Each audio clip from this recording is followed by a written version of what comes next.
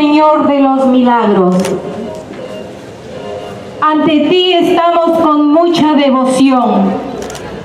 Hoy que imploramos tu misericordia, en nombre de nuestro alcalde y todo el personal que laboramos en nuestra municipalidad digital de Chancay. Te imploramos, mi Señor de los milagros, abras tu brazo misericordioso y nos enseñes cada día a ser mejores personas, solidarios. Enséñanos a ser muy justos, más fraternos. Danos tu bendición, Señor, y que en esta municipalidad siempre reine la paz y el amor en todo el personal. Hanos cada día ser mejores, para que así seamos ejemplo de tu bondad. Mi Señor de los milagros, abre nuestro corazón para recibir a todos aquellos que necesitan amor de nosotros. Señor de los milagros, danos, danos tu bendición en este día y en todos los días del año, porque solo tú lo puedes hacer, mi Señor. Gracias, Señor. Y en nombre de todo el personal y de nuestro alcalde, te damos las gracias porque hoy nos bendice y nos abres esos brazos misericordiosos. Gracias, mi Señor de los milagros. A continuación invitamos también al gran decenista chancayano, don Antonio Silva, que también tiene una oración para ti, Señor de los Milagros.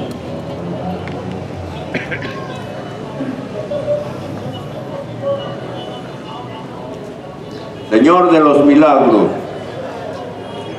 creemos en ti, Hijo de Dios, hermano y Salvador nuestro. Confiamos en tu bondad y poder. Queremos amarte siempre cumpliendo tus mandamientos y sirviendo a nuestros hermanos.